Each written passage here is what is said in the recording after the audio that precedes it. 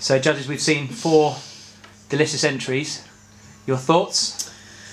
Well, I have to say, we've not tasted a bad cake. They are all winners in my eyes. Yes, uh, Um, excellent, Uh, excellent. um, incredible standard. Um, and personally, I, I find it very hard to choose between them. Um, I think the. Well, where do we start? We started with the whiskey cake. The whiskey cake was lovely, a lovely touch, a bit different with a bit of whiskey in it. Um, nice decoration, obviously a nod to uh, my beloved whiskey. Um, and then we had a lovely coffee cake, coffee and walnut, walnut being your favourite, um, which was really, really lovely.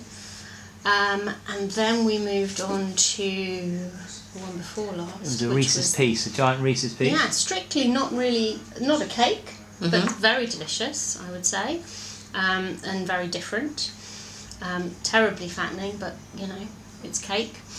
And then, of course, finished off with the chocolate orange, which was, oh, amazing, I would say. Hmm. So, very difficult to choose. I think we did. In my view, we did save the best till last, and I think the best cake is the chocolate orange cake. For me, it's got that richness of, of, of dark chocolate, which I love, and the sweetness of the orange. And the orange wasn't too overpowering, so I thought excellent. It was a good balance, wasn't it? Mm.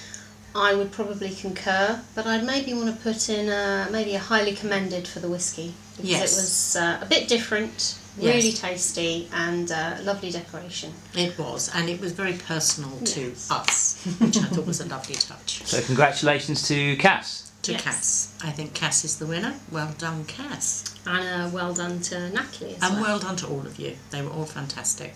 Excellent work. And I enjoyed breaking my diet.